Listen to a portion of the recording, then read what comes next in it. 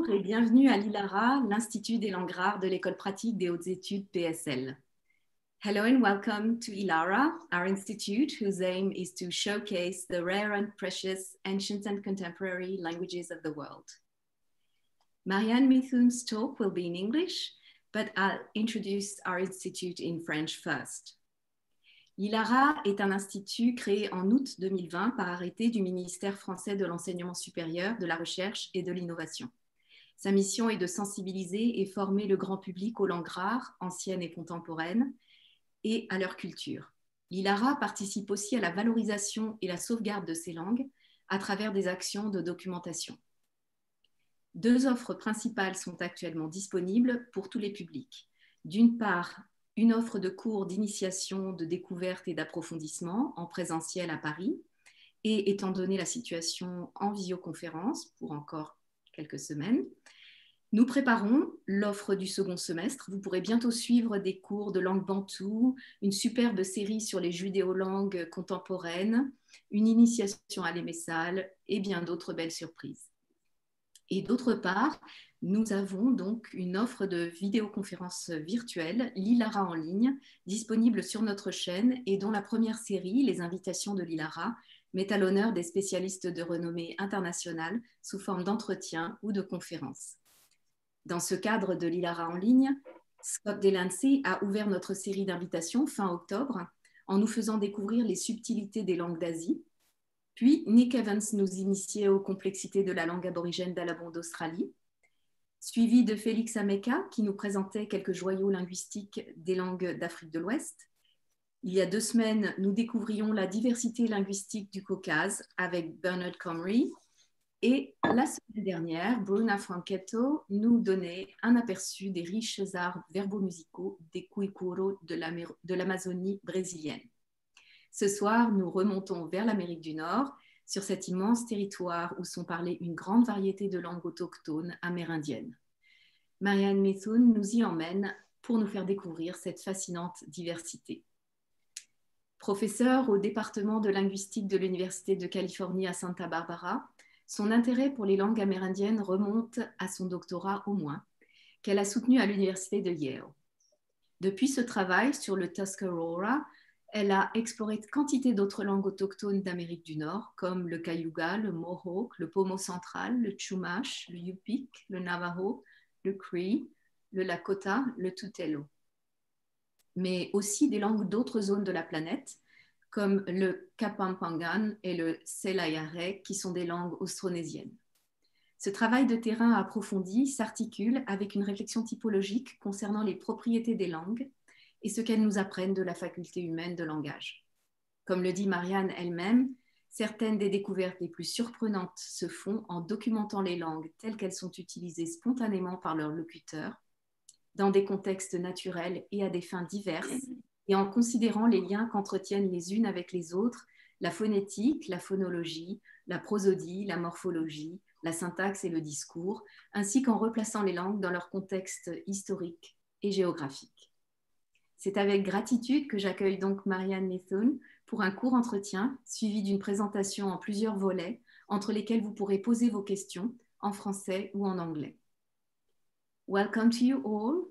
I will first ask a couple of questions to Marianne.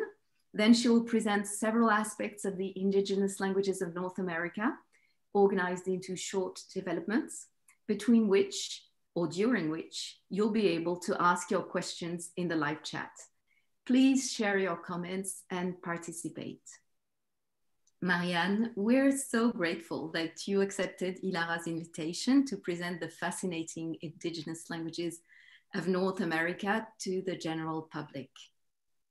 But before you start your presentations, uh, let me ask you a couple of general questions. The first one, uh, You've spent decades of your life working on languages, in particular languages of North America. Can you tell us what triggered your interest for these languages? well, this is this is sort of interesting. Um, as as some people know, particularly Jean Daniel, um, I was a teenager in France, and when I was there, um, I couldn't help but be struck by the fact that at that time, anyway, people who were speaking French were saying very different things from what English speakers would say in the same situation. And I, I, I kept thinking, my goodness, French and English are so close, yet people are saying such different things. It must, what must it be like if if you're thinking in a language that's totally different. And that's really what triggered my interest. So it really was France. yeah. Oh, that's wonderful. so we hope that you can soon come in person to France and uh, and relive this um, experience. Uh, another question I have is about um, working on uh, contemporary rare and precious languages, which uh, involves uh, working with speakers. And um, I know that there are many ways of going about that, depending on the researcher. And so, could you describe how you collaborate with speakers and uh, tell us about some people um, who are particularly important to you? Uh, thank you, Amina. Um, I've just been extremely fortunate. I think things have kind of happened accidentally. So um, I, I, I, went to Yale, which was um, very serious, and everybody was doing Indo European. And um, I was still kind of intrigued with what might be different. And I was very fortunate. I raced up to the uh, anthropology department, and there was a very erudite professor there. And he said, Well, I can't help you unless you interested in North America. And I said, okay. And he said, and I couldn't help you unless you're interested in Iroquois. And I said, okay. And he said, well, there's one language that people haven't really worked with. And I said, okay. So um, that began, that was Tuscarora. And I was very fortunate to work with a wonderful, wonderful speaker who he was a wonderful speaker. And he was um, already in his late 70s at the time. And we just had a wonderful time together.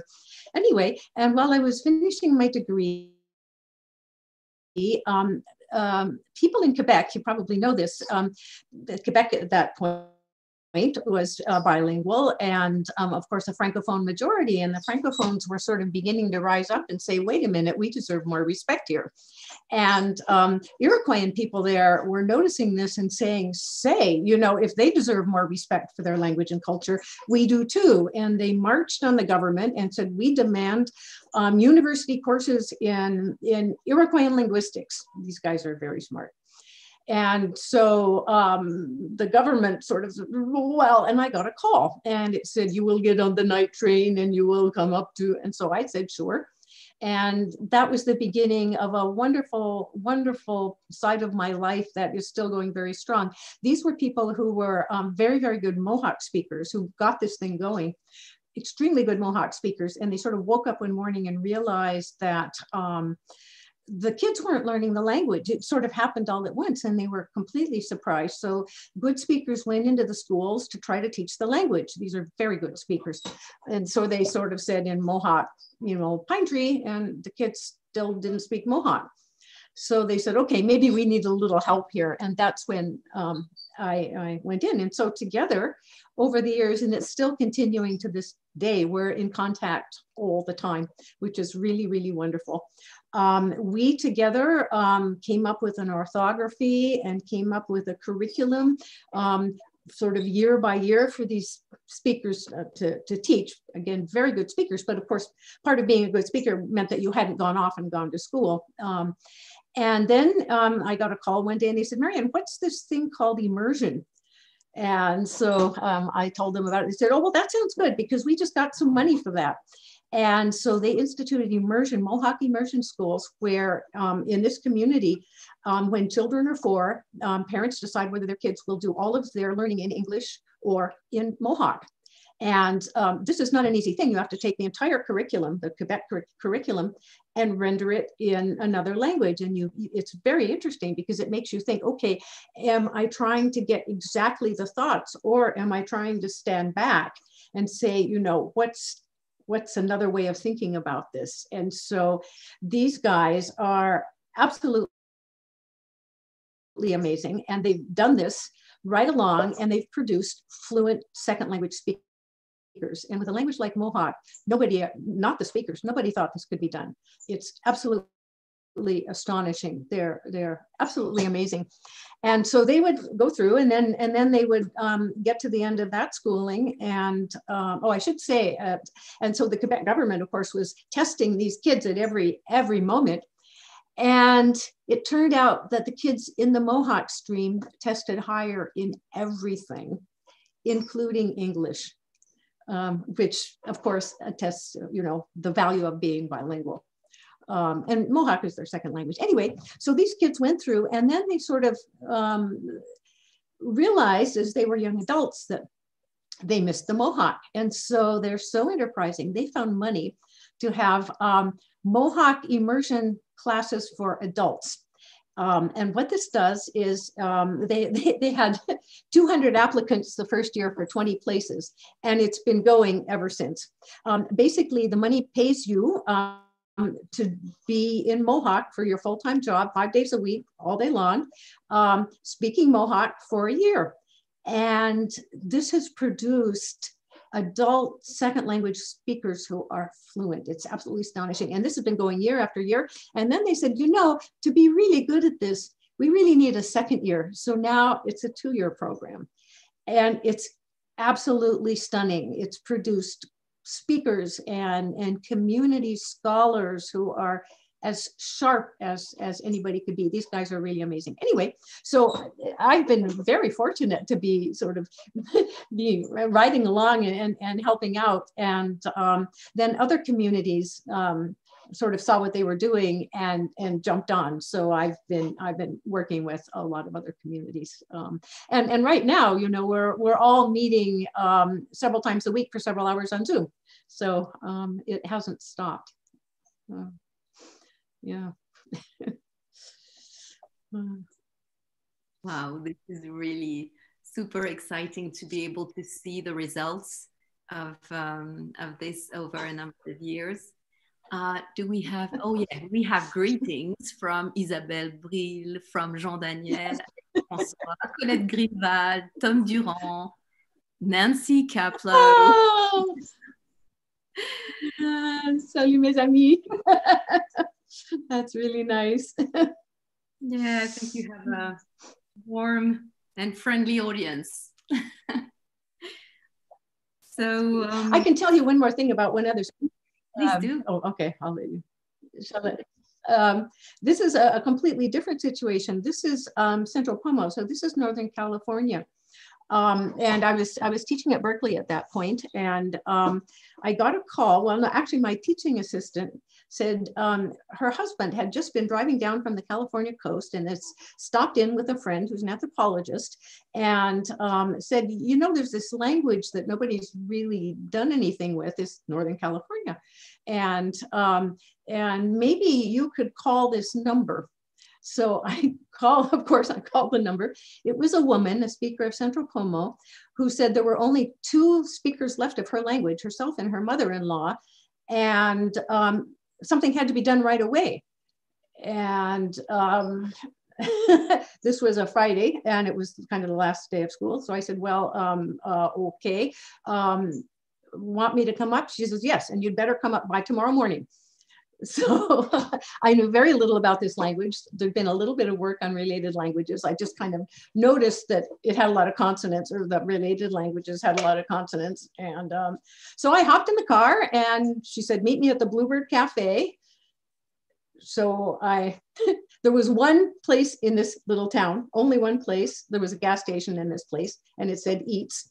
So I went in there and everybody said, oh, hi, Marianne and um, that was the beginning of that experience. Um, so there were only so so Frances and I worked for a little while, and I said, "Well, what about the mother-in-law?" And she said, "Oh, she's mean. She's really mean." And then a little while later, Frances walks in and she says, "Well, that's it. She's dead." And I said, No, you're the only speaker. She said, Yeah, yeah, but she was mean, so that's okay. And so I sort of explained to her how much we wouldn't know if we didn't have conversation. Oh, we'd been meeting in the Bluebird Cafe for the first couple, well, the first day. And of course, it was right on highway, and there was a fan, and people were coming in and out, and there were dishes. And I'm thinking, okay, ejectives versus aspiration versus uvulars and velars. Um, you know, she said, would you like to find a quieter place where we could work? I said, yeah. Okay. So she fixed it so that we could go to the nearby town and work in the mortuary, which was very cool and very quiet. Um, anyway, we did that for a little while. and um, then I, I, I, explained about not having other speakers to talk to her. I said, you know, we're just going to miss out on so much of what you know. And she said, okay, go get the phone. So I got the phone and um, she said, dial this number. And then she goes, whoa, whoa, whoa, whoa. She said, okay, hop in the car. She, she was a take charge woman. She'd been tribal chairman. We hopped in the car and um, drove over the mountains, 50 miles to the coast. She goes up and she knocks on a door. Woman opens the door. She's anyway, she'd been saying, um, "Hey, you know, you, we we got to do something about this language." And the woman had said, "No, no, I'm going shopping." And Frances said to her, "I found out about this later." So you got a lot of money. What are you going to shop with? Um, and she says, "Well, no, not really." Frances said, "I think this lady has some money." And so, because I had a grant at that point, so. Um, and, and so she's okay, come on in um, just for a little while. And um, we spent 12 hours there recording and talking. And ultimately, we kept doing this, and ultimately, we came up with a dozen speakers. And we all we worked all worked for nine years, documenting nine years of conversation because of Frances, who was this go-getter. And then I, I lived with Frances. And so we'd record and then we'd come home and then she and I would transcribe and translate. And she was a dynamo. So that's just one other very different kind of situation. But um, it's it's because of these people who are so forward looking. Yeah. yeah.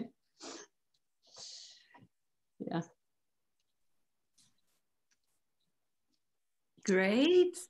Sorry, uh, there's a something uh, on the screen. Hi guys. this is great. so maybe like lovely. more about those languages by saying because we it it seems like um, there are so many language families in the area and so many different languages. So up to you. Thank you. Okay, shall I jump in and talk about how many languages there are? okay, um, but let me first say, um, feel free to jump in with questions and comments in the middle and um, either I'll see them in chat or I mean, I will we'll do something. So feel free to jump in in the middle. I'll, I'll stop at various places and um, so comments too, it doesn't have to be a question. comments are just fine. So I'll share my screen. Okay.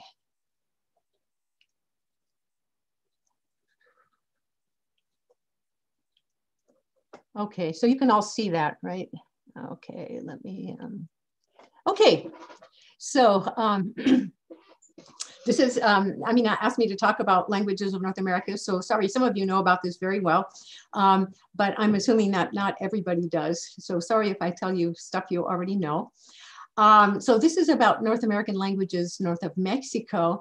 We don't know how many were here to start with. Um, probably a number disappeared before there was a trace. We know of about 275 languages, and that's very rough, just from that we know we're separate languages. Um, and you might think, okay, North America is one thing. It's not. There are around 55 completely distinct genetic groups, that is, that are descended from different common ancestors. So we talk about a language family as all the languages that come from one ancestral language. And over time, as people kind of move off, languages continue to change, but they change in different ways and ultimately become mutually unintelligible. So English and French are Indo-European languages, um, as are most languages in Europe. But then, um, anyway, so these are completely different.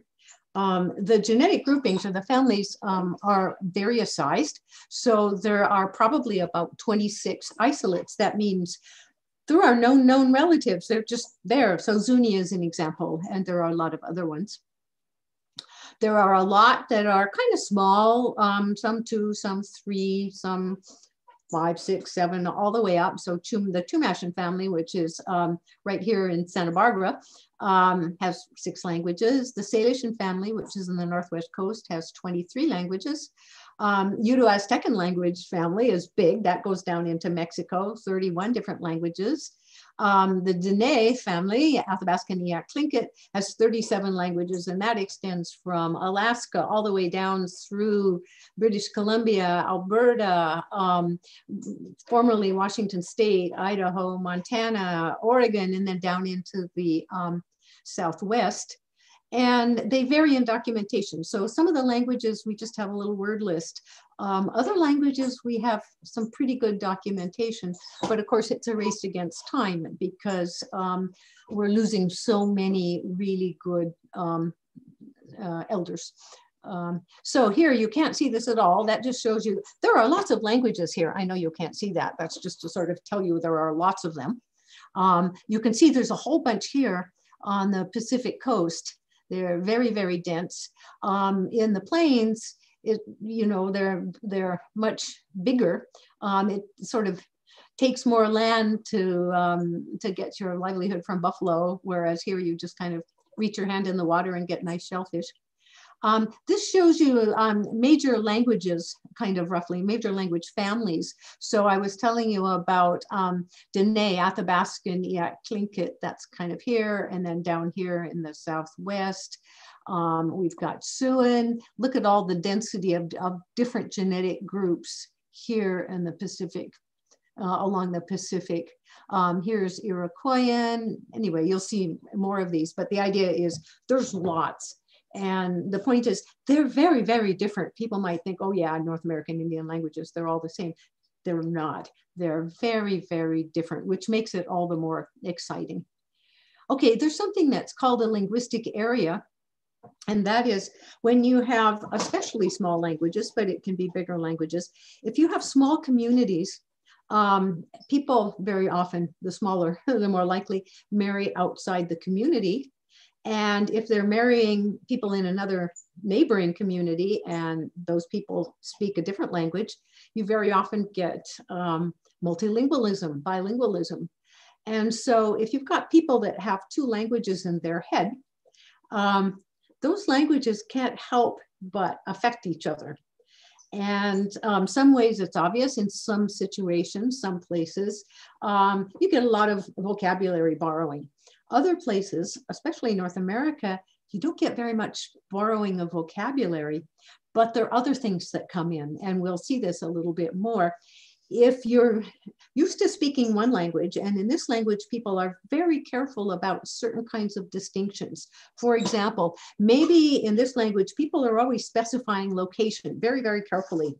You go and you speak your second language or your other language, and maybe you're going to be very careful to try to speak that language, not to draw stuff in from this first one.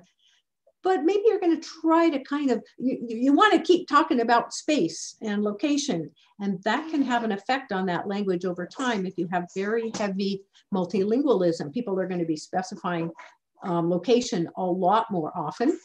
And when people specify something very frequently, it ultimately becomes part of the grammar.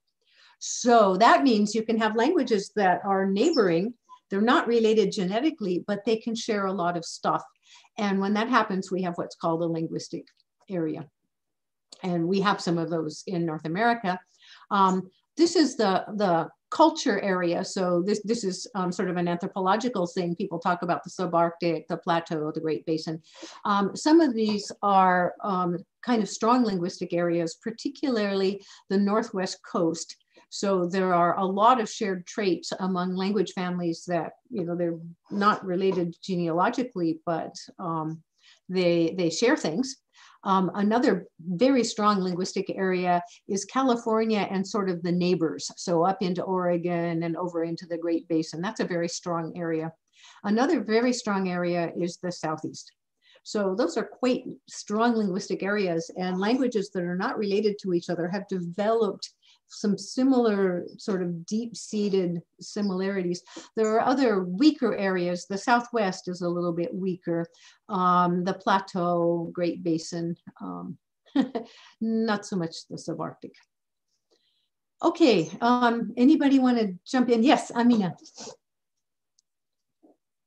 Yes, sorry. There's a question uh, by Alex Francois.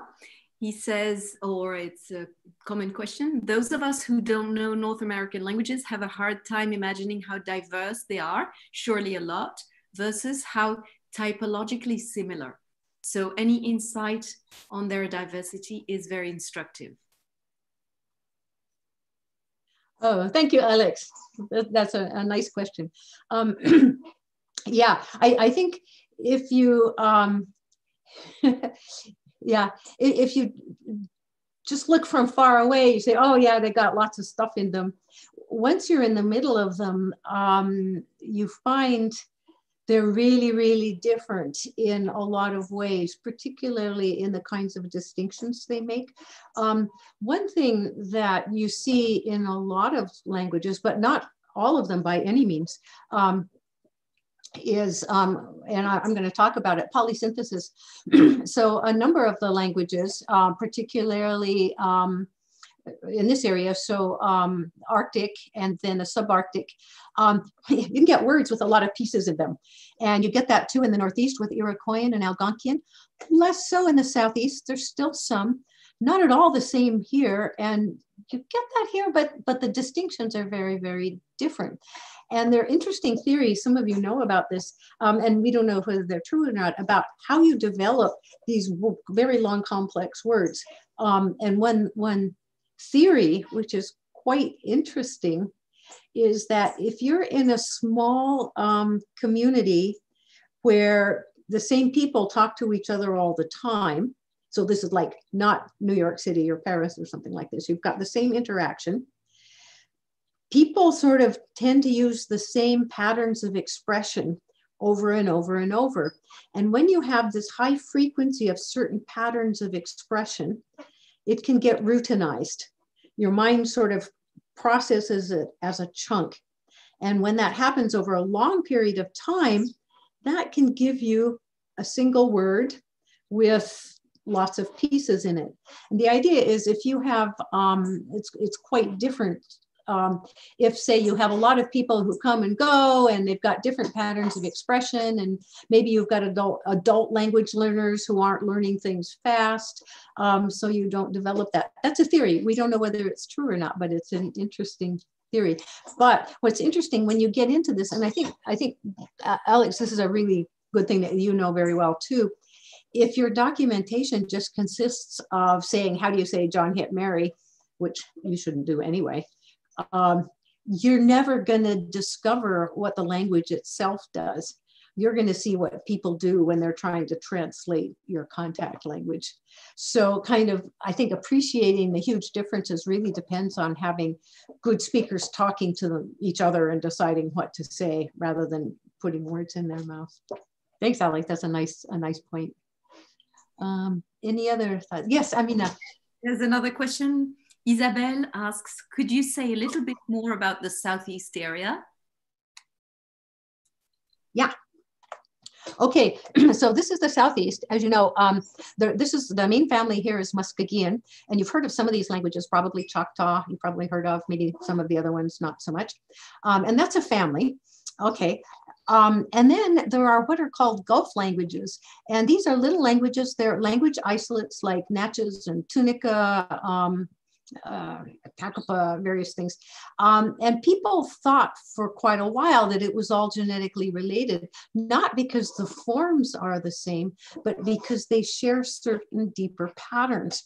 And then you look, and there are also um, you can this is Siouan. Well, this is a lot of stuff, but um, there's a Siouan language family, which kind of well, it's, it's all over the place, but there was a lot of contact here. So these languages share a number of really interesting features. Um, one of these is what's, and no, I, I didn't put it in this talk, um, what's called agent-patient systems. So instead of having subjects and objects, they group difference in terms of what are grammatical agents and patients. So for example, if I jump, I'm a grammatical agent. If I sleep, I'm a grammatical patient. And you use two completely different forms for the I. Okay.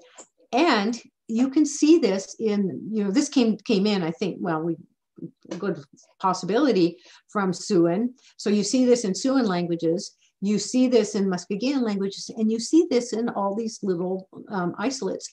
Um, there's several other things they have in common. Um, one is what's called switch reference. So when you're putting together sentences, you're talking about whether this thing has the same, this is where subjects do come in, have the same subject as the next one. So it's a little bit like in English saying, crossing the street, I saw um, a man or something like that, but you're very carefully um, tracking reference. And and again the different languages use different forms. All of the Muskogean languages use the same forms. But um, but they've got this same kind of patterning then there's another kind of thing um, which uh, I think did come in from Siouan languages, and um, that has to do with being paying very careful attention to position. So you distinguish things that are standing from things that are sitting, from things that are lying, and you can see this coming in and and affecting the grammar in big ways. Yeah. Okay, any other? Yes. Not for the moment. I think you can go on with the sound system. And, okay. Okay, so just a little bit so you can see what the sounds are like, show you a little stuff. So um, here's Iroquoian, okay? This is Cherokee down here. This is where Tuscarora was up until 1712. Um, this was Susquehannock. Then you have Mohawk, Oneida, Onondaga, Cayuga, Seneca. This was Huron. Um, yeah, and, and, wars happened since. Anyway, so now we're gonna look at Tuscarora. These guys came up from here in 1712. Um, they're at Niagara Falls. You've probably heard of Niagara Falls. This is, it's really rough doing field work here. It's just, it's really, really a terrible place to, to do. Anyway, um, look, it hardly has any consonants. So it's got to, chuka, s, interesting, s, and order, you know, glottal stop. That's not very many consonants. Here you can you can hear what it sounds like. Okay, I'll let you see. Uh, this is from Elton Green. Okay,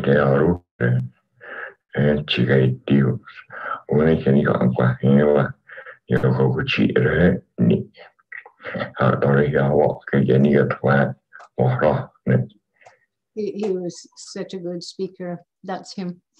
Okay, so you can hear what that sounds like. Um, now for Eskimo Aleut, okay, so this is this family. Um, it's called Eskaleut. It's also called various other things. It extends from Siberia, you don't have Siberia here, all the way across here um, through northern Canada, uh, Labrador, and Greenland. So it goes as far as the east, eastern part of Greenland with Greenlandic. So it covers a pretty wide area. Um, very different kind of landscape. Okay, look, it's got more consonants. And some of the interesting things, it's got a difference between, um, oh, th these are the, the community, the conventional spellings, and then here is what they sound like in sort of IPA. So you have uh, like a K, it would be like ka, but a Q would be like ah. And for speakers, those are two completely different sounds. Okay, there's also a sl, um, which you don't get just everywhere. Um, and you have, you know, and um, so these are different. There's a, a, particular verb in, in Yupik for um, a second language speaker who doesn't know how to distinguish the K and the Q. It's a particular verb. Anyway, um, so here you can hear what it sounds like. Um, this is George Charles. So pay attention to the Q's and the sl. Um, there's more going on than the um, so this is in the practical orthography. That's a fl. Yeah, ang lanak pes no kokin toy nimiwi tak sana in um ang awi ka ko tin hotoy mugit kluk ka atakulonanan Yeah. He, he was talking to his sister um, on the phone. and Anthony. Okay, that's George. Okay. Now, um, this is the Dene family. Okay, Navajo is around here. You've heard of Navajo. Um, very different uh, topography again. It's got more consonants. This again is the um, standard orthography um, and it's pretty close. Um, some of the interesting things, it's got ejectives, which you find um, in, especially yeah, in, in, North America. So ah, ah, ah, ah, ah. Um, it's got the sl and then it's got la. Um, so, um, oh, and it's got distinctions between, it's got tone, and it's got a distinction between nasalized vowels and like those are nasalized and plain vowels that's nasalized and between long vowels and short vowels. So long vowels you write with just two vowels.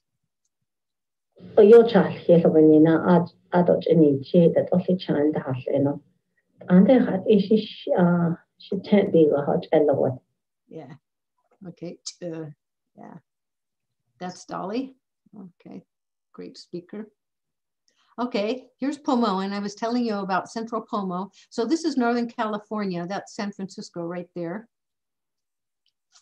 It's again quite different. Um, the the this language is spoken in two main communities now, one on the coast and one inland. This is the inland one, about yeah, 50 miles inland. It's beautiful place on the coast. Okay, it's got more consonants, it's got 30 consonants. So it's got a distinction between dentals like da and alveolars like da. You say, whoa, or ta and ta, or ah and ah. Okay. And if you make a mistake, speakers have no idea what you're trying for. It's like in French, if you said a P instead of a T, people wouldn't say, oh, yeah, she just doesn't have her P's and T's correct. It's like, oh, we don't have a word like that. Um, and it's got, it's also got the velars like ga versus ah. Okay, but it's got aspirated ka and ka and ka and ka. Okay, and it's got shoes and okay, so it's got a lot of nice stuff. Okay, so here you can hear it. Listen, there's an um, alveolar aspirated. There's um, a dental ejective. Um, there's then yeah, okay. There's an there's um an ejective. Many English toma toma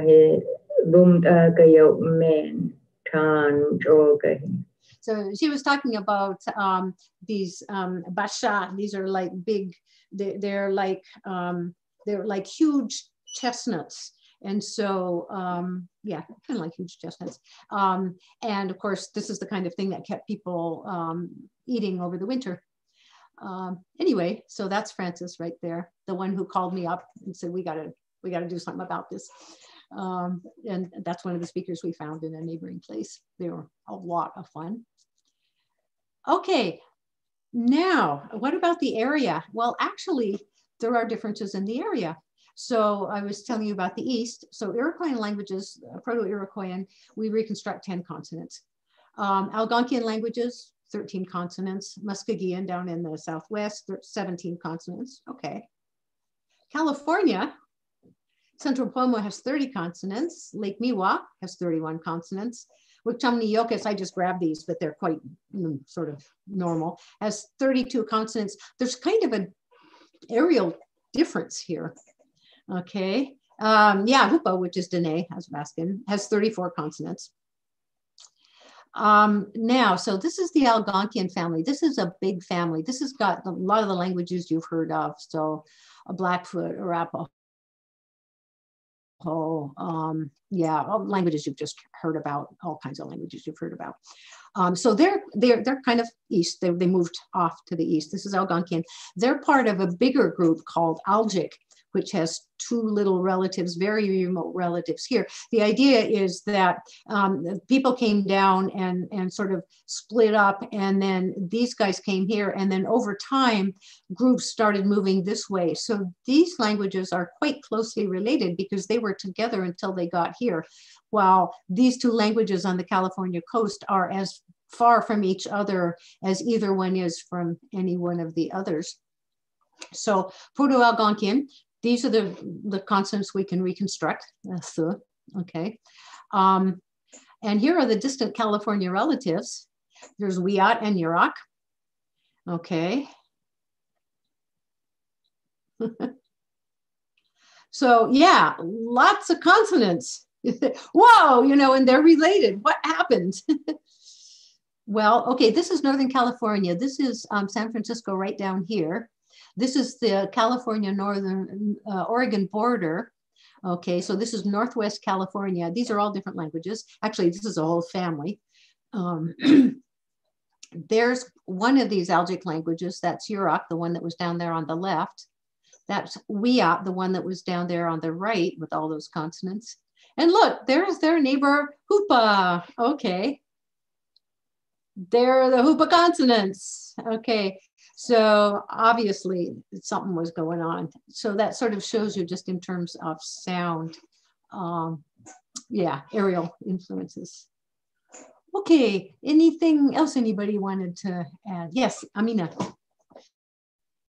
Yes, we have several comments and questions. So in chronological order, there's Alex uh, Francois, who says again, great point about the routinization of phraseology.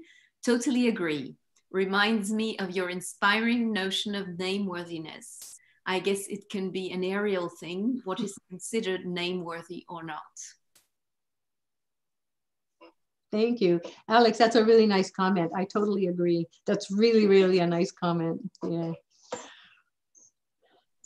And uh, then the Steve Hewitt says the three families, Algonquin, Iroquoian, and Siouan, all seem to have spread towards the southeast, Virginia, Carolinas. Do we have any idea of the relative chronology and geography of their spread? Um, let's see. I guess I can't get back there. Um, no, um, it, the the for Iroquoian, um, I think if I went back, I, I, I probably well, I can take you back. Me take you back to Iroquoian. Let's see.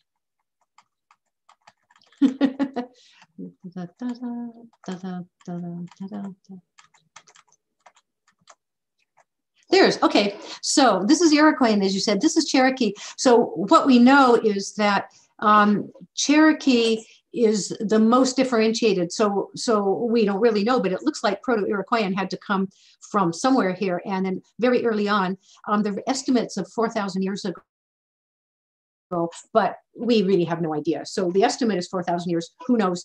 Um, the Iroquoian split into Southern Iroquoian, which is now um, just represented by Cherokee. If there were other, uh, other sister languages, we don't know. And then Northern Iroquoian, and that kept moving. Okay, Northern Iroquoian, the next big split and the estimates are like 2,500 years ago, but who knows, um, was Tuscarora and everybody else. And so these guys were, Tuscarora were down here. And then after that, the next split was Huron, now called, called. And these guys were first seen in Ontario, Southern Ontario. Um, and then after that, the Five Nations, and those are all here. Um, and then we can even see within that that there were a split. There was a split into Seneca Cayuga and Onondaga and Susquehannock probably, and uh, Mohawk and Oneida, which means that Mohawk and Oneida are very close, and Seneca and Cayuga are pretty close. Um, and then there's this mystery language, which is quite interesting, um, which is now called Laurentian. So you probably know that in uh, 1534, Jacques Cartier um, sailed into the Bay of Gaspé with his um, men looking at the New World, and he came up the St. Lawrence and he saw these people um, settled on the banks of, well, actually, he said, So who are you? And they said, You know, I mean, there wasn't a lot of mutual comprehensibility at this point. This is the, the first thing. This is probably the first language um, North American language documented. And um, anyway, and he said, well, come on down. And, and so along the St. Lawrence, there were people living there. And um, so they very kindly gave Jacques Cartier and his crew some cedar so that they would, wouldn't get scurvy, etc. And um, and there were some notes in the ship's log, in Jacques Cartier's ship's log, uh, of words, um, which is very interesting to us. Anyway, and then what he did, he went back, but before going back, he grabbed two people from here and took them back to France, where they lived for a year. The next year, 1535, Jacques Cartier came back again with his two captives, and they went up to Montreal. And we have a list of words appended to each of these ships accounts. So the 1534 voyage and voyage and the 1535 voyage of words from this language. And they've just kind of been sitting there for a while. But now we can look at them. Of course there are plenty of challenges. It's very clear they were iroquoian. Um, in 1603 champlain champlain came back and there was nobody here. They'd vanished. So the question was who were these people? Okay well if you know what you're doing you look at the vocabularies you say this is iroquoian. Um, so it was iroquoian um, and furthermore, we can see that um, it wasn't just one language because there are sound changes within the vocabularies that aren't replicated. So we can see that several different languages were represented. Um, and of course, it's it's very fun to look at um, what the what they thought the words meant and what they really meant. Um, like like there's there's one that's translated bronze. And you say, well, that's kind of interesting. Um, well, it turns out what the translation, what, what the Iroquoian says is it goes around your finger. So obviously one of these sailors had a ring. And he said, what, what do you call this? And he said, well, it's going around your finger. Okay. There's another one that was translated saumon, salmon, and um, didn't look like any word for any kind of fish in any language I knew. Um, but then I looked a little further. It's the word for a tray, a, a, platter kind of thing. Obviously, somebody pointed to a platter with a fish on it and said, "What do you call that?" And he said, "Well, that's you know, umbak, that's a platter." Anyway, there's a lot of a lot of fun going on there, um, and of course, we don't know. It wasn't Jacques Cartier who wrote these things down, so we don't know who was the one who wrote them down. Furthermore, of course, um, French orthography hadn't quite settled down at this point. So if somebody writes an S were they pronouncing an S or did they mean vowel length or an H or what did they hear to make them write that? So anyway, it's been a lot of fun. That's more than you wanted to know about this. Um, as for, uh, let's see, I mentioned Algonquian. So I don't know, these guys are very close. These are very remote. These are further apart. I mean, you can just see the sort of, the further you get east, the closer the languages are. There's kind of central Algonquian here, eastern Algonquian here, and then Algic. For Siouan, there's some Siouan out here, there's Tutelo, um, and then there's Osage down here. Um, yeah. Um, and then, yeah, uh, I guess that's probably all you want to know about that. Let me go back to. Oh, this is so fascinating. yeah, yeah. You get the review this way. Yeah. If it went by too fast the first time, it goes by too fast the second time. Okay. Any other questions or thoughts? There are other questions. It also reminds me of what you just said about uh, elicitation. So it's it's a kind of also a an elicitation problems in those days and yes. so uh, yeah we have um, another question by ed pedraza robles who also says also always a pleasure to hear you speak professor so that's, oh, that's a comment but the, um, the remark or question thomas here remarked Tonkawa was typologically unusual in the USA in that it exhibited switch reference, obviation, and definite articles. Any other languages that you feel are unusual for America? Oh, I think all of them.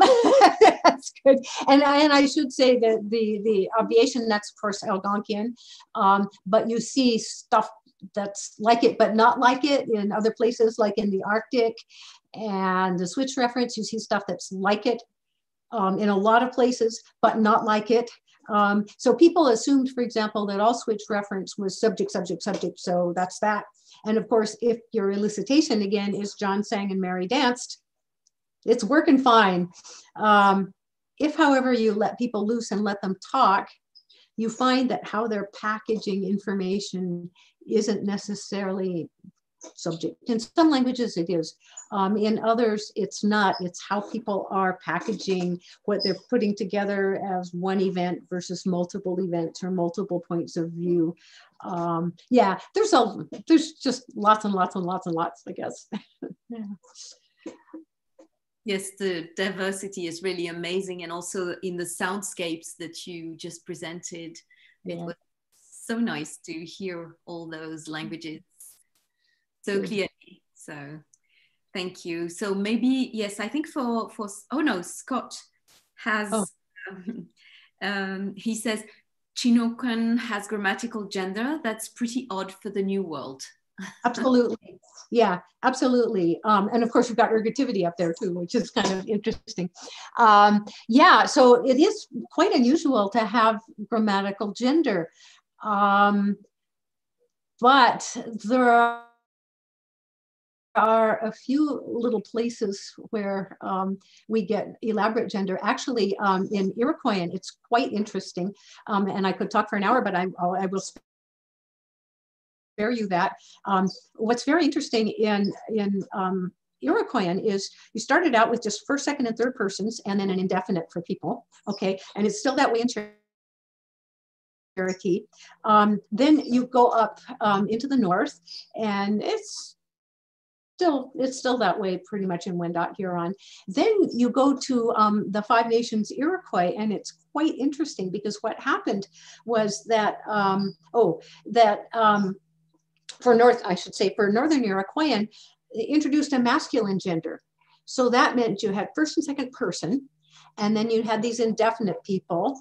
And then you had two kinds of third persons. You had the new masculines, and then you had the others, which were things and animals and people. So you have one gender that, I mean, women, things, animals, and women versus men. Okay. And it's still like that in Huron. But then when you get down into Five Nations, um, people started using that indefinite one um, for special purposes. So for to show respect. So if you're talking about your grandmother, you would use this one, okay, or your mother. So your grandmother and your mother. And it's still pretty much that way in um, Mohawk and Oneida and Onondaga. Um, it's used a little bit for a few more people than that. But people you're showing sort of special deference to. Okay. Um, it went a little wild in Seneca and Cayuga. Now they just do that for all women. Okay. But it's very, very interesting to see you've got these two feminine genders, this ga, which is objects and animals and some women versus the yeah, which is indefinites and other women. And what's very interesting is that um, when I first started working with uh, Mohawk teachers, I was showing them this and they were horrified. They had no idea. I mean, they're beautiful speakers and they do it all the time but they they were shocked that there were that they were using the same prefixes for animals and some women and the indefinite for other women and one woman who's very proper stood up and she said, This is not right. We have to stop this right now. She said, We're never going to use this God prefix for women again. We're going to only use the indefinite prefix. And my friend here agrees with me. And when she said that, when she said, My friend here agrees with me, of course, she used the zoic animal prefix rather than the indefinite prefix um, it, it's very interesting. Um, people had never thought about it before because, of course, they weren't reading, and it's kind of a, a, literate thing. So I had a lot of fun asking everybody. I mean, we've had years and years of fun dinner table conversations about who do you, who's a yeah and who's a ga. Um, and of course, people differ a little bit. Um, uh, we were in a in a cafe and, and they said something about you know oh, ask the waitress to and they used ga. I said, why do you use? Said, well, we don't know her um, which was interesting.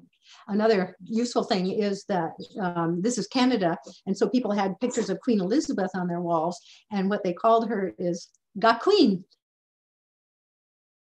which is the Zoic prefix. Yeah. Okay, more, that's enough of that, right? Anything else? Okay, no. so um, talk about polysynthesis. Yeah. Okay, um, so languages in North America, some of them have fairly complex words. So here we go with Mohawk. Um, this is Latsanina. She said, I mean, they were talking. She said, oh, they make excuses. They were talking about why some of the kids weren't coming and learning. And here's how she said it. Okay, this is pretty common. It's got pieces in it, so you can see all these pieces in it. This is not unusual. Um, this is an optative, masculine plural agent, middle voice, reason, linker. Um, it's a verb meaning to prop up or something like that. This is an instrumental applicative. This means nothing to some of you. Epenthetic vowel to keep the W and the glottal stop apart. That's the perfective. Okay, literally is they would cushion it with a reason which is kind of nice. Here you can hear him saying it. I mean, this was part of a lively conversation. Did you get that? I'll do it again. okay, um, and this is why um, I brought up that uh, Amina asked me for something to put as a title. Um, I was on a car trip with a Mohawk friend, and we were driving along, and she says, "You know," she says, "I don't really speak English very well." And I said, what? Because I think nobody who didn't know Mohawk would have any clue that English wasn't her only language. I said, your English is flawless. I mean, it, completely flawless. It's like like where she lives. But she said, no, no. She said, I really don't speak English. I don't know English the way I know Mohawk. And I said, what makes you say that? And she says, well, when I speak Mohawk, I have all these pictures in my mind. And she says, that doesn't happen with English. which I think is actually quite revealing because I, I see what she means about Mohawk because there are all these pieces that have what have been called shadow meanings. So yeah, you know, yeah, that means they're make excuses. But there's this little thing in your head that has some of these pieces in there, and they have varying degrees. Speakers, speakers themselves have varying degrees of consciousness of them. It's not a, a literary and analytical thing. It's that like they know about this cushioning thing. I mean, it's it's it's like these things. And so I thought that was a, a beautiful comment, and I completely understand what she meant. Um, yeah, that's what she said. Um, uh, this is what's Nina. She's the one. They, these guys do nothing but have fun. They they play with the language. It's it's total fun. Um, okay, here's uh, Yupik. You saw Central Alaskan Yupik. Here's another normal word. You can see it's got a lot of pieces uh, mind, lack, think, subordinative, um, the same. This is the one I was talking about to first person. Also, what does that mean? And he thought I was stupid. Okay, so yeah, that's got lots. That's uh, Elena. She's a wonderful speaker, tiny little lady. Okay, here's the Navajo. Um, oh, you didn't see this before. Okay, it's got pieces. Thing about Navajo is so often the pieces don't seem to add up to the real meaning. Here it does. Um, he found it. Okay, you can hear it. Okay. Um, so this is a verb to paw, and this is, oh my goodness. Okay. Um, but the whole thing is he found it. He was, this little kid saw them buy jelly and put it away for the night. And he thought about it all night and he got up in the middle of the night and found it and he was just eating it. He found it anyway. So they got up in the morning and it was gone. Okay, here's Central Pomo. Um, I think you saw this word before. This is heat, sense, cause, perfective, imperfective, plural, passive, and perfective. They have to be cooked. She was talking about basha, those um, buckeyes, those things. Okay, um, there's something called holophrasis, and this is something you find in a lot of North American languages, but certainly not all. Um, a verb can be a complete sentence um, because in these particular languages, all verbs contain pronominal reference to their main participants. So you've got everything you need, who did it and what they did. Um, so here's Mohawk. He says, yeah, okay, normal word here. It's got its pieces. Um, future, third plural acting on so they to us, spark, linker, set, benefactive, applicative, perfective. Oh, I didn't put the sound on here, sorry. Um, what that meant was um, he was saying, "Oh, welcome to the new uh, newly elected councilors. Um, they'll will meet on our behalf." Um, okay, and he meant they'll meet on our behalf. But look, you've got the the spark in here, but you've also got the they for us. So that's a perfectly good sentence on its own, and it sounds like that. Um, here's the Yupik. That's the one you just saw. And he thought I was stupid. It's it's one word and it's fine. Here's Navajo, you just saw that. He found it, one word, and it's fine. So um, in a lot of languages, certainly not all, you can do that. Okay, any, any other thoughts at that point? Okay. Um, so what goes into these words? well, the interesting thing is they're not all the same. So um, here's just a sample of Mohawk. This is a, a generalized sample. So you can get a lot of pieces. You always have to have pronominal prefixes, who, who did it to what, who, and you always have a verb root, what they did. And you always have aspect, like did it happen all at once? Did it take a while, et cetera, et cetera? Is it over with? Um, but then you can have a whole bunch of possible prefixes before that. You can have stuff in here and reciprocals. You can have a bunch of stuff here. You can add on here. And here's what they look like. Here are the things that can go in here. Um, here are the things that can go in here. and then you've got various aspects and you can do a progressive or a remote past or a former past or a continuative. So there's plenty of stuff. And of course, you can do lots and lots of noun stems and lots and lots of verb stems. So I'm just going to show you one little piece. This is just one of the prefixes. This is a repetitive. Um, this is good. Okay. Um, what you should notice in this story, I'm only going to give you a little piece of it. Um, you want to pay attention to how she's using the repetitive. It's just a little prefix. It's just an S or an SA or a TSI. Um, and the thing about Mohawk speakers is if, if, so, if, an event is happening again, or you're returning to an earlier state, they put this in there very much more often than you might if you were speaking English. Okay, so um, the point is you've got this thing and it's there because people did it so often. So it was this frequency that led to routinization. And, and that frequency continues. And of course, it's so easy to do. It's right there. Um, so she was telling this story. I'm not giving you the whole thing. It was all in Mohawk. She says, a couple bought some chickens and built a chicken coop. They enjoyed hearing the rooster crow in the morning, but one morning the chickens were screaming more than usual. So the husband suggested that something must be after them and the couple went to look. The husband looked through a hole in the wall and saw that something had gotten hold of one and it was screaming. The wife suggested he get his gun. She's the wife who was talking. Um, it was a weasel. It had already bitten the chicken on the leg. The husband took aim and shot. The weasel looked around wondering what had happened. Okay, so I'll give you a little piece of this. So um, then this weasel, he just grabbed onto the chicken again. Okay, since it's the second time he grabbed it, she's got the za on there. The chicken really screamed. Okay, it was the second time this chicken had screamed. So he re-screamed. Okay. Again, my husband took aim. He re-scream, re- re-aimed. So here you can.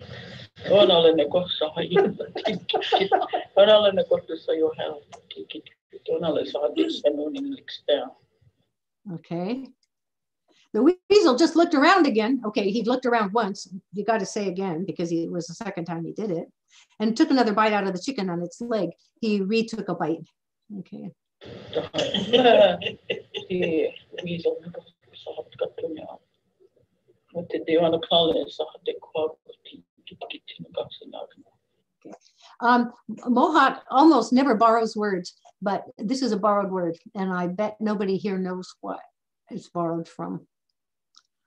Um, Mohawks are now um, in uh, Quebec, Ontario, and New York State. They were earlier on um, in New York State um, around the Albany area, and the Dutch settled there and they had a fort called Fort Orange. And the Mohawks heard the Dutch calling their chickens. And of course, they hadn't had chickens when they got chickens, so that's what they called them. So, gip, gip, gip, gip, gip. okay. Mohawk doesn't have labials, so they put in T's instead of the P's. Okay, that's I'm the speaker. Um, any anything to stop at this point? I mean, Amina? Yes. Yes, maybe I have a, que a, question about this repetitive, which is really fascinating.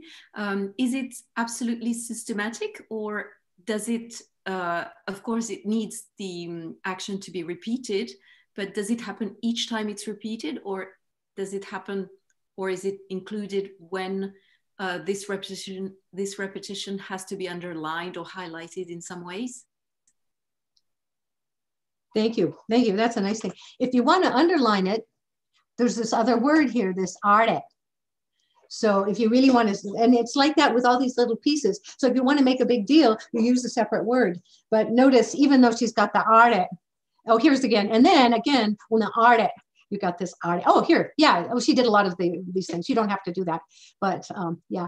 Um, and um, it, it's used in places where English wouldn't do the repeating. So like um, another time somebody was talking about um, this guy, he lost his wife. And so he was um, looking for another, another woman um, and he wanted to remarry. And so, and so they married. And so he found one. They two married and she used the repetitive, even though it wasn't the same person he was marrying, but it was they two married. So it gets used much more. But that's a really nice point. All of these little pieces that kind of get tucked in without a thought. If you really want to um, make a big deal, you use a separate word as well.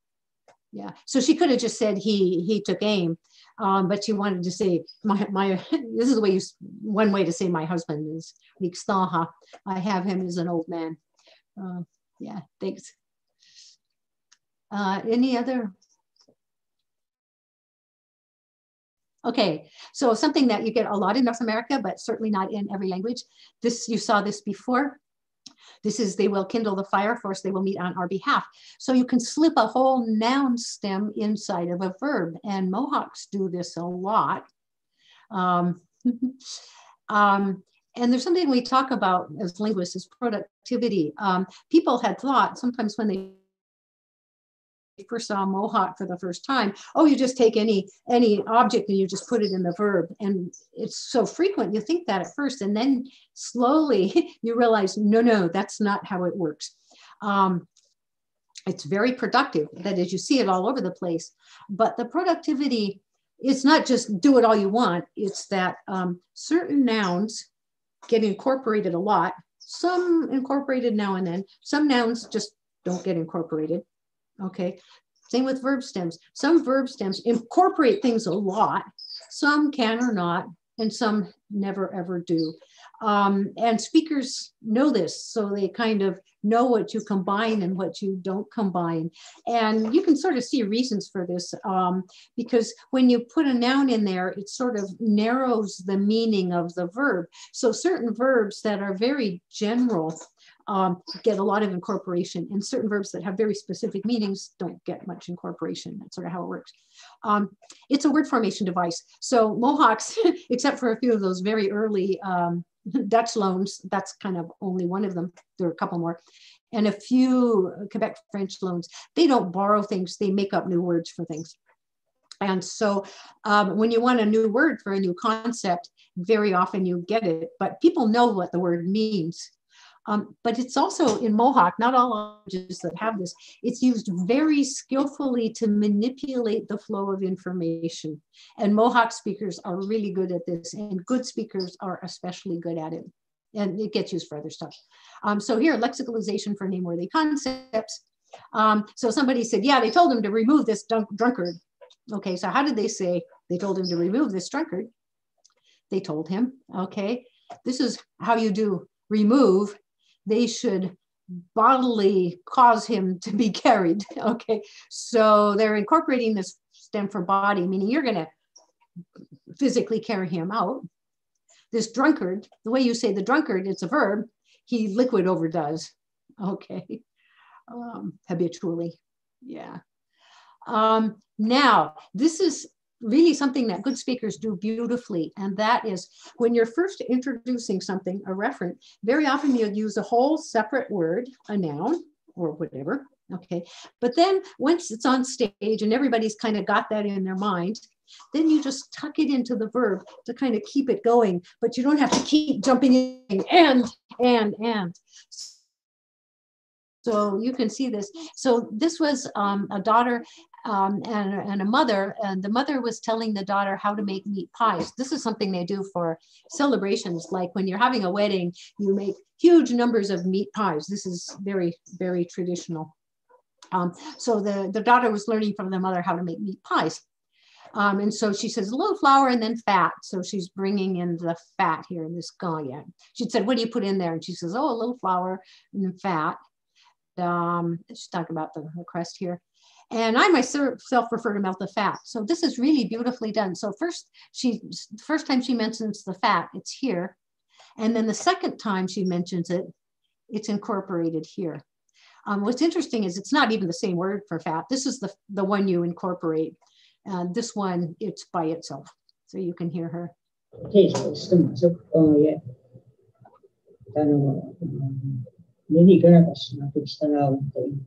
Oh, yeah. This shows you again how you use a separate word to contrast or something. So here she says, I prefer, that's the I, but here she's got a separate pronoun only just because, well, I myself, but other people don't. Um, then um, Jerry says, well, how much? And um, her mother says, well, you'll decide how many pies you're making. She incorporates this baked goods thing because the whole topic of the conversation is making pies.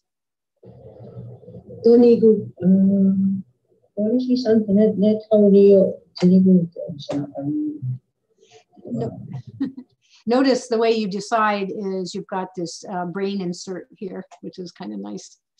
Um, and the meat and potatoes, she says, well, while you're waiting, you'll cook the potatoes and the meat's cooking. Okay, so the daughter brings in the meat and the potatoes as separate nouns, and then the mother incorporates the potato and the meat. Then, ora, then nada.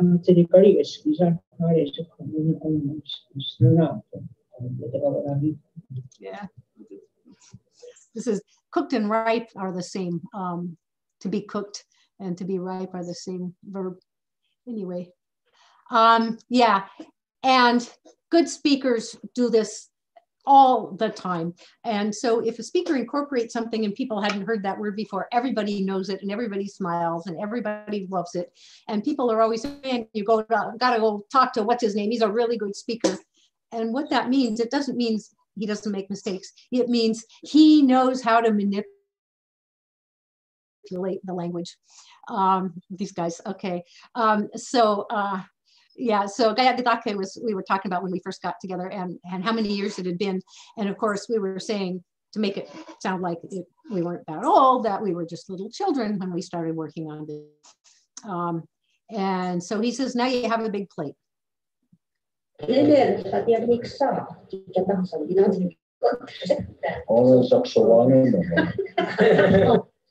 Okay, you know, what? what in the world? okay, it's because we were, we were, we two were children little, so that's incorporating child. And he's incorporating plate, and it sounds very similar. So it's a play on the incorporated noun. I mean, you know, you got to be quick to do this.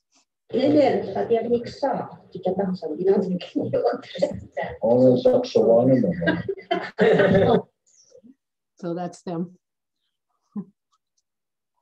Okay, so we can see um, so, sort of Iroquois languages, Northern Iroquois languages have really vibrant incorporation. Um, as you can see, people do it a lot. Um, there are languages where people still do it, but not so much. Um, and then there are like like Siouan languages. It, it, people don't use it for the discourse purposes, but they use it to make new words. And then there are languages where it's not going now, but we can tell by looking at it that it was really there. so you know maybe after a while people you know they once had it and everybody was doing it, but then people move on to other stuff. But if you're if you're sharp, you can kind of still see it.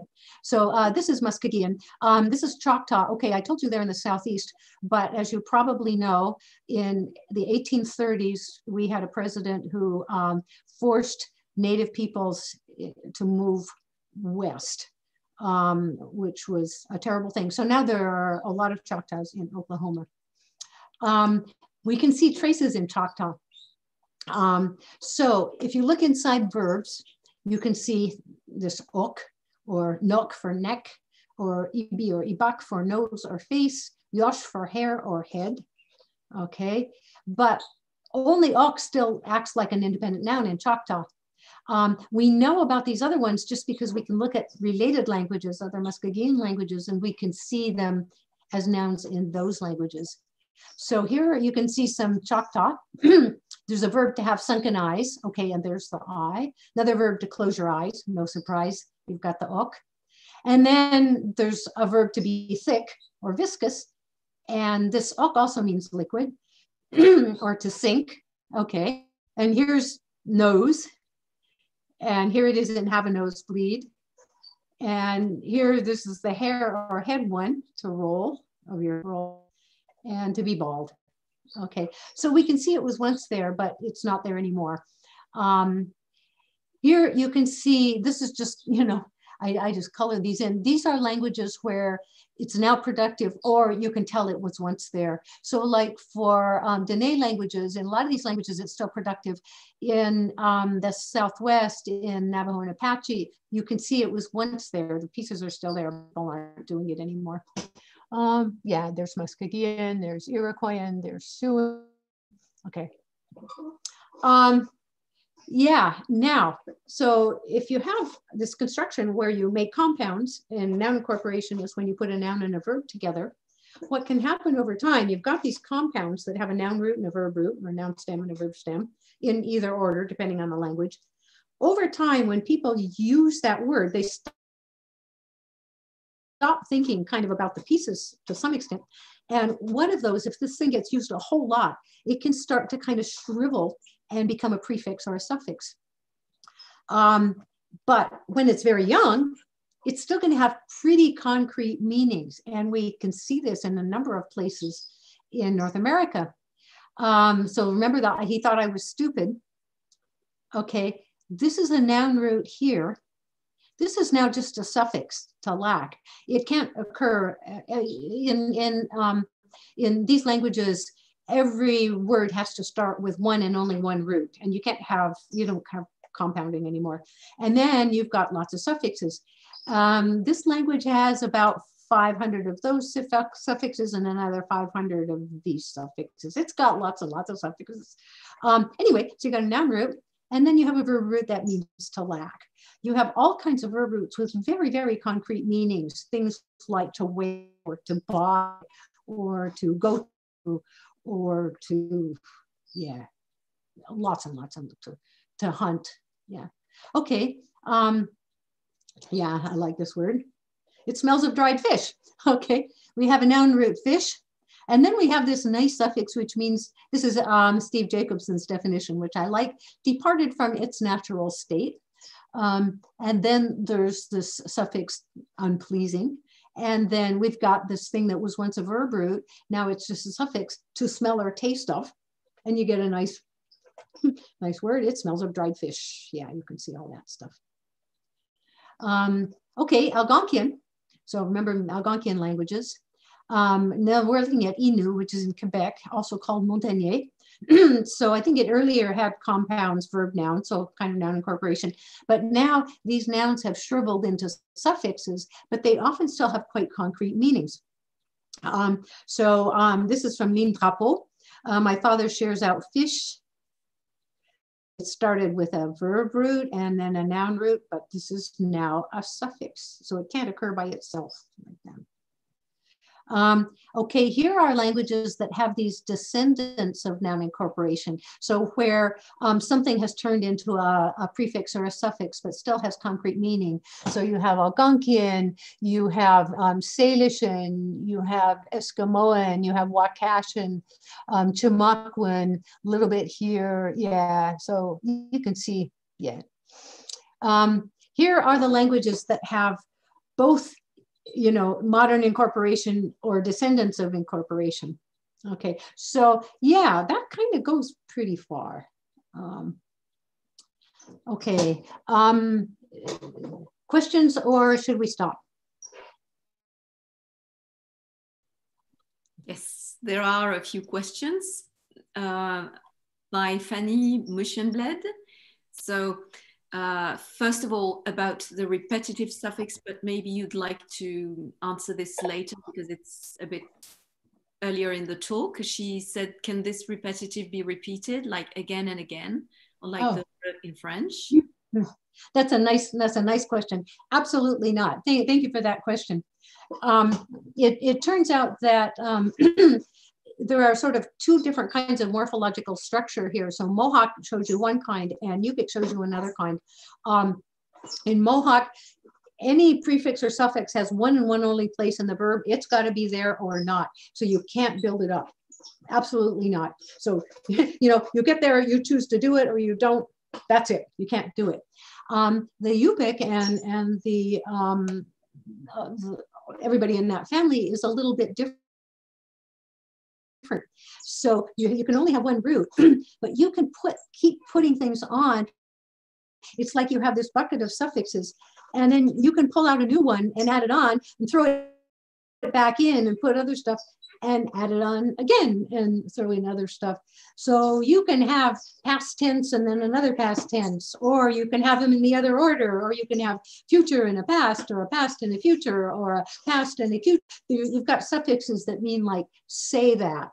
Okay, so you can have a verb like he says she'll come, and then you can put a past tense on it and you, you get something like, um, he says she came.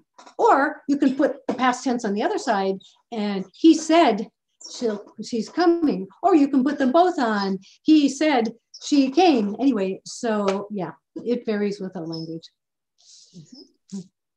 Thank you very much. Uh, Fanny has other questions as well.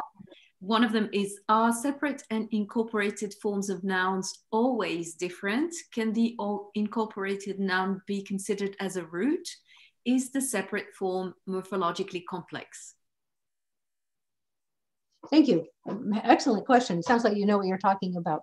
Um, so it, it varies with the language. Um, in Iroquoian languages and probably most languages, what you incorporate is a stem.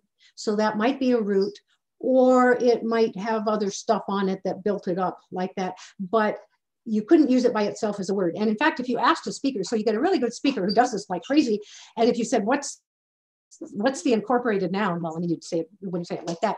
They say, I know there's a fish in there, but I don't know where it is. They couldn't pull it out for you. In Iroquoian languages, all nouns have a gender prefix. They're always neuter and a noun suffix and those you don't pull in. So when the nouns are by themselves, they've got this extra morphological complexity, and then you only pull in the, the stem. Yeah, um, yeah. Okay. Thank you. And she says, um, it made me think of the absolutive form of nouns in certain Uto-Aztecan languages, a suffix that disappears when the noun is incorporated, yeah. possessed, or other processes. Yeah, yeah, that's good. Um, and of course, for Iroquoian too, you can have external, you know, when you have a separate independent noun, you can have a possessive prefix on there too. So it's it's quite similar in that way. Um, but of course, in Uto-Aztecan, there are places where you get the noun on its own without that absolutive. But in Iroquoian, you could never say a stem by itself. Nobody would have any clue what you were aiming for. Yeah. Great. Okay. So go ahead. I'll, I'll do just a little bit more. Um, I know it's hard to sit still uh, for this long. So, um, but I can't tell if you get up and go, so that's all right. Um, question is, what goes into roots and affixes? Okay, remember Central Pomo, this is California. Um, here's this verb, it's got, I can tell you, actually I didn't tell you this is a um, another suffix, but this is this verb, which means to sit on a thorn or put a patch on pants. Okay, that's kind of interesting. And here's another verb, jakun, which is to block as blocking a doorway. And here's jakal, to finish peeling as apples or potatoes. These are the, um, the definitions given by speakers. So the question is, what's the morphology here? What do these pieces mean? Um, huh, I don't know if it's obvious to you. It wasn't obvious to me to start with. Well, it turns out there's a prefix. This jaw is a prefix and it means involving a massive object. uh, for example, but also in cutting. so, wow. So what in the world are these things? okay, well, here are some verbs. That's the first one you saw, this uh, et. Um, here are some other things with this root. It's also, um, this was when we were sitting in that restaurant and this came up. Some She felt under the table. I don't know if this has ever happened to you. Anyway, this is to stick something on with fingers as chewing gum under the table. Um, this is if you, you're drinking something and you get a bug in your mouth with it. Um, this is you step on a nail or a thorn. Okay, this is you stick a pitchfork up in the ground or a shovel. Um, this is you're pushing on something and it sticks in your hand. This is to catch fire. This is not obvious morphological analysis. This is you hammer a nail into the wall.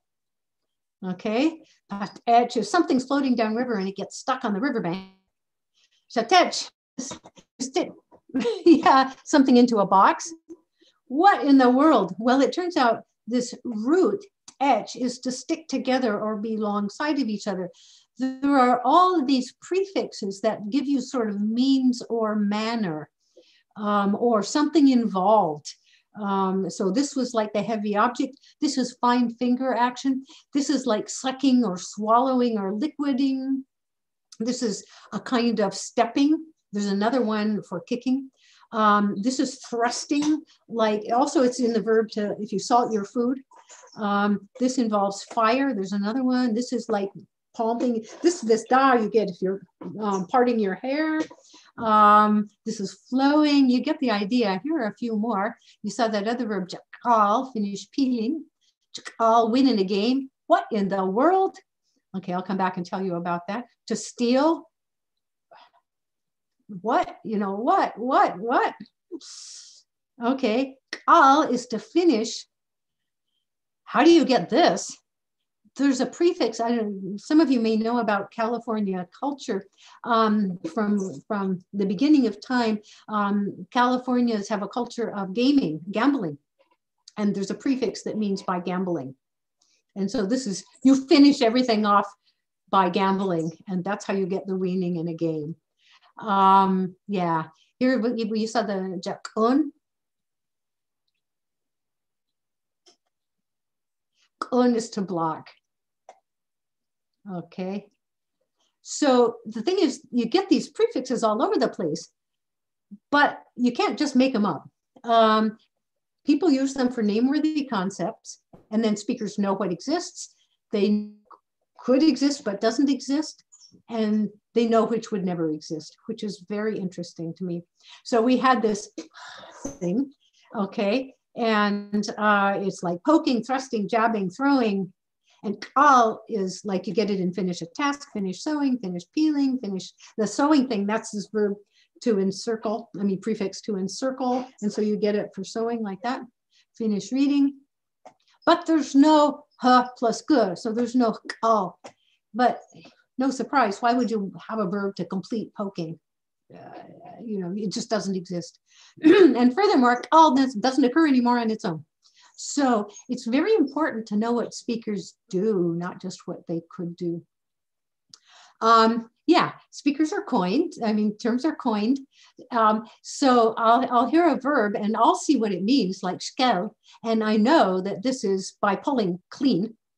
And so I'll ask what it means, and here's what the speakers say. That's to weed a lawn. How about clean with fine finger action. That's, you know, Marianne's understanding of the meanings of these things. That's pick pebbles out of beans before cooking them. Bayak, orally recognize. That means follow an order. Dakal, finish off by pulling. That's the thing is to swipe or steal, but only in some dialects. Okay. Um, so one last thing here. What about word classes? Um, here we go back to Iroquoian, but I'm looking at a different language. They really work about the same way. This is Cayuga. This is now spoken in Northern Ontario, I mean, uh, Southern Ontario. Um, it's a beautiful place. It's on the Grand River. Um, and in all Iroquoian languages, uh, Northern Iroquoian, you have just three lexical categories and you tell by their morphology. So particles don't have any internal structure. You can compound them. So gate means this pertains to what people have been saying. Nouns like that's the neuter part. That's the noun suffix part, or verbs, I'll have a look. Okay, that's all you have. But if you look at what people actually say when they're let loose, um, I just took one thing that had 400 words. there were 245 particles, 10 nouns, 245 verbs. And that's really typical. Okay, so here's Reg talking about rabbit hunting. He says, you got to keep your eyes peeled. Okay, so how did he say this? He said it like this. Okay, you've got your nice incorporation there. This has got this neat phonological thing I can't resist telling you. If counting from the beginning, you've got an odd numbered syllable that ends in an H, you devoice it. if it ends in a glottal and it's odd numbered counting from the beginning, then um, you do an eject glottalize it. Okay, anyway, um, that's a verb, that's a particle. Okay, you'll follow its tracks.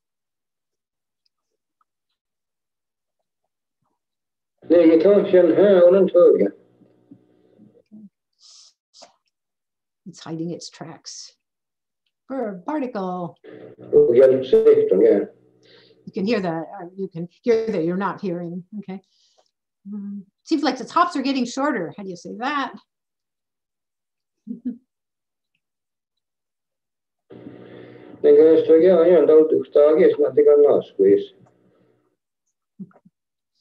That's because it's in its tracks.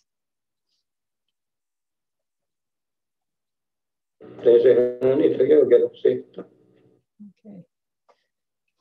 It'll stick its head into the loop. He's made a, a, loop out of a sapling and, and he's placed it so that the, the rabbit's running around and you, he knows where it is because of the track. And it goes through and then it, the sapling picks it up.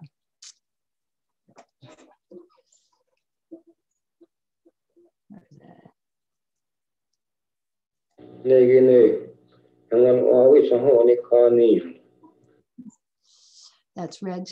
wonderful speaker. Why so many verbs? Well, you got the pronouns inside, so you don't have to have pronouns outside. Um, nouns are incorporated a lot, as you saw, and a lot of things you just say in verbs. Also, um, verbs can be used just the way they are, like nouns, as referring expressions. So how do you say put your coat on? That's how you say it. so yeah, the wheat. It is, those are the pieces. Okay, that's what it means. You cause yourself to be bodily encircled. there, it's a verb. There's no coat in there. But the word for coat has the verb inside, is based on a verb. Thing that encircles one's body, a coat or shirt or a dress. Okay. Um, other things that we would say with nouns, Iroquois speakers don't say with nouns. Family and friends are relationships, they're not possessions. So my uncle, Haknotze, this is still Cayuga. He is uncle to me, it's a verb. My son, Ehawak, I have him as offspring. That's my son, it's the verb. My cousin, we two are related to each other. My cousins, we all are related to each other. Each is related to each other. Okay. And you coin new terms for verbal descriptions. Um, and you don't have to even nominalize them. So, you know, what's going on here? Here we go back to Reg. He's talking about a guy he saw doing this.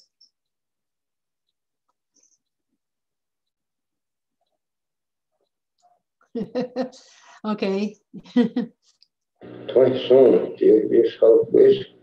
okay. Um, the the noun for shoes is actually a verb. I didn't put that on here. It means what you what you you're shod with it. That's what it is. It's a verb. Okay. But here, this is the high topped boots but it just says they're high topped, it's a verb. So as you can see, uh, yeah, they use a lot of verbs. So the point here is that people don't even sort of put their ideas into the same categories in different languages. Um, now, I think that's probably enough of sitting still, so I'm not going to go here, but see if there's other questions and other, other comments. On this part, we don't have any additional comments. I think everyone was dazzled by uh, the wealth of uh, information and all the various combinations, and it's uh, like fireworks, really. so I don't know if anyone, yeah, sorry, you would like to add something? I don't know if anyone in the chat would like to ask questions. about this? About part four? But I can see that everyone's here, so they have. I can go through this. I go through this very quickly. Yeah, I think so. I think. Okay, this is just a piece. Um, yeah. I'll go very fast. We, I think I think we're we're all very happy to hear you do it. Uh, not rushing through it. You don't need to rush through it. So. Normal speed. Okay, this is just a piece. I mean, it's very interesting. So these fundamental questions. What can you copy? If you know, what do you move from one language to another, and under what circumstances? You know, well, people have talked about this for a long, long time what gets borrowed. Um, so possibilities would be just vocabulary, or I mean, sort of the traditional notion was okay, sometimes all you do is borrow vocabulary. Okay. But if you have really more intense contact, you borrow vocabulary and maybe the grammar that's attached to it. So, for example, in English, um, we have um, plurals like we say phenomena instead of phenomenons because we know about the Greek plural. So you might do that. Okay. Um, some so people have, have put these on a scale and said, okay, first you borrow vocabulary, maybe a phrase now and then. Um, then maybe if you borrow these words, maybe you're you're bilingual, and so you bring those those um, sounds in, and we know that's happened in English. Like we say rouge in English, and we say garage in English, and those sounds weren't there originally.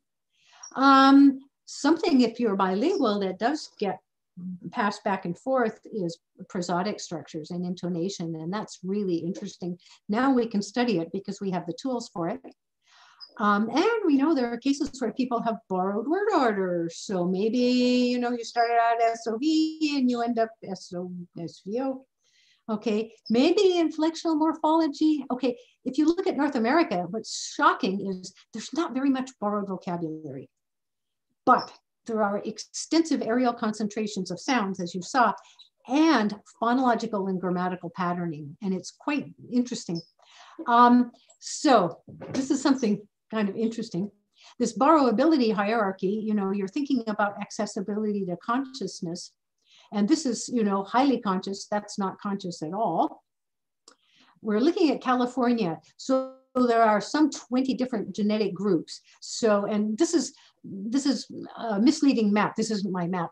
Um, some of these are separate languages, like Konkow and Maidu are separate languages. This is a family, Pomo, and It's got seven languages. Chumashan, that's a family. It's got seven. Salinan, that's a family with two.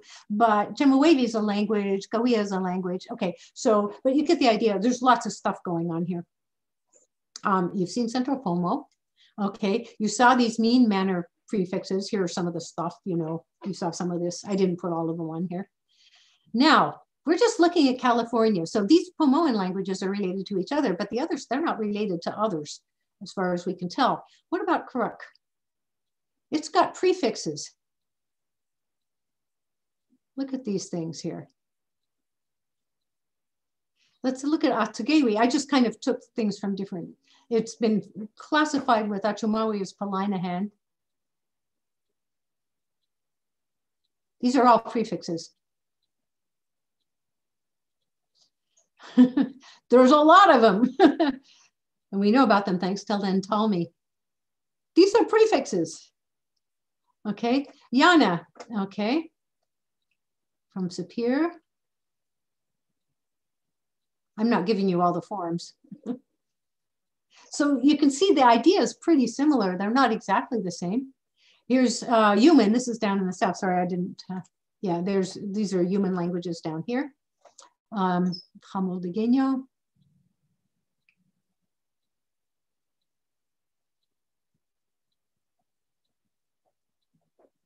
Okay, in your Chumash. This is Chumash, not related at all.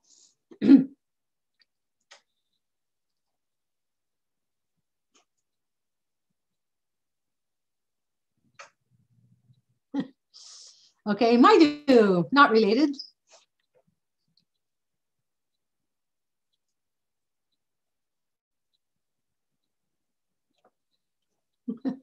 Where Maidu? This is Roland Dixon. How about Klamath? This is Oregon, down in. Scott knows about Klamath. This is from Scott DeLancey.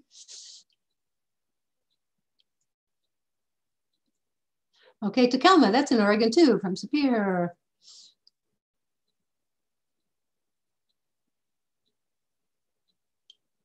Sahaptin, that's Oregon and up into Idaho. This person's in Idaho.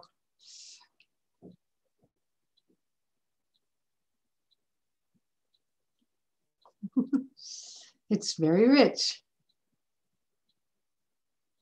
Okay, Yuki and Wappo, those are related to each other, probably. We're not even totally sure. It's very remote.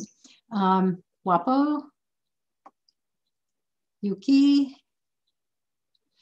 Um, now we've got this giant, you mentioned this before, this is uh, this giant family. You can see it goes down into Mexico. It goes pretty far over into Oklahoma. Um, yeah, okay, from Idaho to El Salvador, California to Oklahoma. And there's these manner of prefixes, but just in one branch of the family. And that's in California, Oregon, Idaho, so the same area. So here's Kawaisu, this is Uto-Aztecan.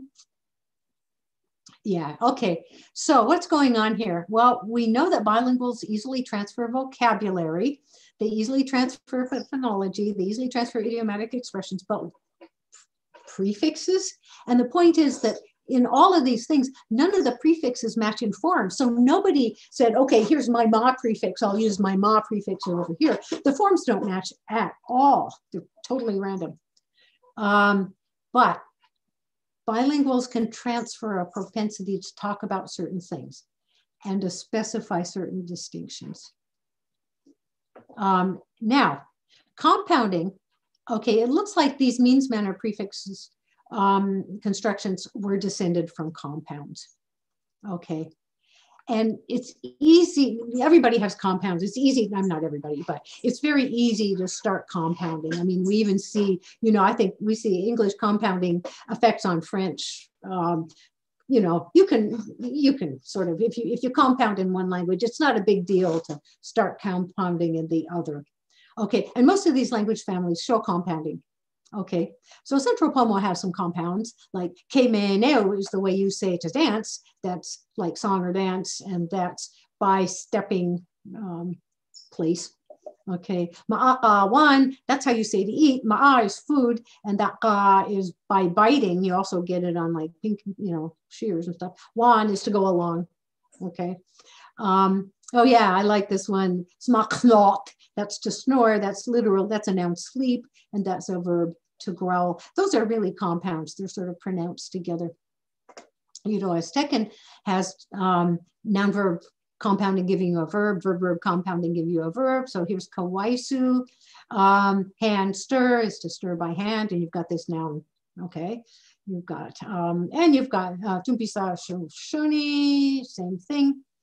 Um, you look at the prefixes with the hand, and you can see that goes back to a Proto-Uto-Aztecan noun. So you can see this stuff coming from compounds. Sometimes from a verb, sometimes from a noun. yeah, yeah. Um, yeah, and most of these still survive in modern Numic. Numic is this branch in California. So if you've got this origin in compounds, it explains the things. So you, you, this kind of explains why these prefixes would have such concrete meanings because they're young. They came from things which, you know, hooked on while they were still kind of nouns, okay? Um, and can, you can see why there's so many because you can compound like crazy. You've got all of your nouns to pull into these compound constructions. You've got the whole inventory of nouns. So sure, why not?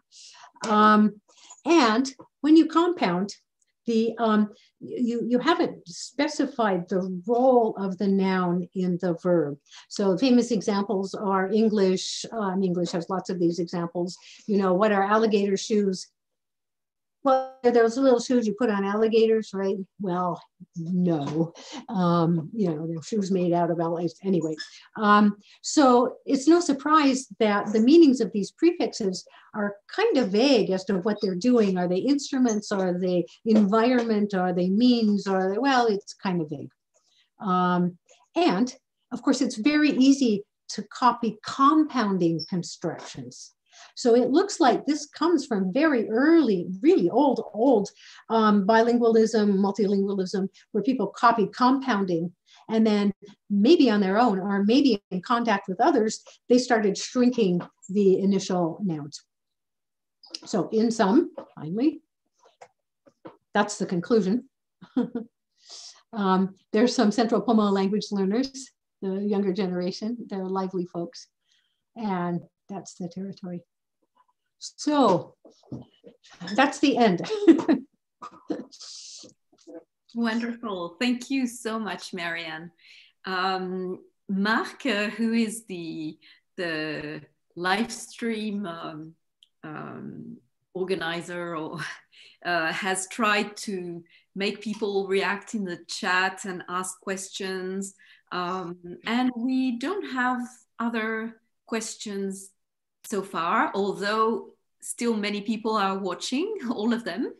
So maybe if I can ask you a question, um, which is quite a vague and question, but um, I was wondering if poetry in those languages had some special um, how can I say that if if it reflected in some ways um, the various uh, ways the various grammars of those languages is there anything in poetry that is specific to those languages because of noun incorporation or because of uh, polysynthesis and so on? Oh, that's a really nice question. And I think there's a lot that remains to be discovered. I think there's a whole lot we don't know. Um, you don't have, in languages I work with, as far as I've seen, um, you don't have sort of standard European style um, poetry where you know you've got rhyming on the end because you've got all of this sort of final morphology. So you know if you've got seven syllables and they all end in the habitual suffix ha, eh, you know it just doesn't have the same effect. So um, I haven't really seen it, but um, I think I think there's some, and probably new speakers are going to start coming out with it. On the other hand, I've seen phenomenal sort of um, oral artistry where um, an oratory, um, in fact, the first Europeans who were really in contact with Iroquoians remark on their oratory. And now still today, there are ceremonies which last a week and speeches which last, go every day for hours and hours. And it's, it's absolutely stunningly beautiful. It's ornate and and and and there's old stuff and there's new stuff in there. Um, in some of the, the, the, traditional ceremonies, you have a speaker who speaks, I mean, just for hours. And then there are men sitting behind him. And if he gets to a point where he, what's the next? One of them very quietly reminds, it's a little bit like, um, like Homer, where you have these recurring things and people know these pieces of speech. Um, but it's verbal artistry on every level. So it's it's ceremonial artistry like that. It's um, uh, diplomatic artistry, and it's sitting around a table having good times, having people make wisecracks. People, these guys are just so amazing. I mean, puns and wisecracks and stuff. I mean, you saw the the the the little children in the big plates, but just kapow, kapow, kapow, kapow. It's wonderful, and I suspect that every one of these languages has very different kinds of artistry. Um, and it's out there waiting to be discovered. But of course, to discover it, it means we can't just keep asking people, how do you say John hit Mary? Oh, yeah. Thank you so much for making this point, uh, this very important point about um, having uh, languages as, as they are spoken in context and in, in natural situations, which I think is really, which I also think is really important. Um, so I'm reading the few comments from the chat. Um, so we have uh, Noemi De Pasquale who says, thank you for this wonderful talk. Alex Francois, I've been enjoying the discovery of so many facts of North American languages, which indeed appear to be very diverse. Many thanks to Marianne for explaining complicated systems in such a clear and lively way. But a last question from Tom Durand, sorry. I'm just uh, um, unfolding the chat uh, as I'm talking. So last question, what do you have in mind concerning alignments of North American languages like split intransitivity or hierarchical alignment? Any new discoveries or new food for thought? Sure. Um, so this is meaningful to people who are linguists and not at all to people who aren't. Um, so um, I'll, I'll, tell you right off the bat that um, this term split intransitivity really um, is is often exactly the wrong term because these are um, in North America and a lot of other places. Um, I, I, should I should it refers to what I was mentioning where where if I say you know I jumped I have a one form for I and if I say I slept I have a different form for I. Um, and so people have said, because they're taking, okay, this is for linguists, the point of departure has been Dixon's AS and O. So what do you do suddenly when you've got this? And so they said, oh, well, the AS and O still fits. It's just this S that is the subject of intransitives. You've got two variants. That's not the way these systems work at all. You don't have AS and O, you've got a very different organization of the systems. So if I say, um, uh, do you remember me? Okay, um, that's transitive, but those are both grammatical patients because maybe you do, maybe you don't, and I'm not an agent, I'm not in control. So there's no subject there. There are two patients or um, oh i forgot my purse you know i'm a grammatical patient or i mean all kinds of things. So um, i think a lot of times things that have, that have been called split intransitive they're not split intransitive at all. They're very very different. They're agent patient systems. There's a related system called an active stative system and it's actually very rare. Sometimes people have thought that agent patient systems were active stative because they've heard the term. Active stative would be built on aspect. And Guarani is like that in South America. So if you have, say, um, perfective or an act, you know, if you have an active verb like I jumped, you've got one form. And if you've got a stative verb, it's long, you've got a different form, but it's based on aspect. In North America, there's one language that would be active stative, but all the other ones, and there's, I, I, didn't give you a map, uh, but there's areal stuff for agent patient stuff, which is quite interesting. It's something that we can see has spread. Um, they're agent patient systems. They're not active stative and they're not split intransitive either. Thank you for that question, Paul. Um, for hierarchical systems, I won't go into that same detail, um, but um, they're interestingly different um, so you have one kind in Algonquian languages, you have other kinds in the Pacific Northwest um, and, in Northern California, and then still other stuff going on elsewhere. Um, so for example, um, in the Pacific Northwest, in some languages, this is areal. Um, so you get it in Wakashan and, and Salishan and um, Chimakuan. If I if I want to say um, I, I I I touched her. I can say I touched her, I, her, but I can't say she touched me because if I've got a third person, this woman over there, and me, a first person, I've got to be the subject. That's the only way it is. So I'm not going to say she touched me. I have to say I was touched by her. And that's a hierarchical system. So you have a hierarchy of either first, second, and third persons, or very often first and second, and then third. And so, you know, the subject has to be the top one of whoever's in, involved. That's one kind of hierarchical system. And we can see it spreading sort of dialect by dialect, where people start out sort of, it's something you naturally do, you know, like I like to be the subject if I possibly can. The world is about me. So first person subjects are more common anyway.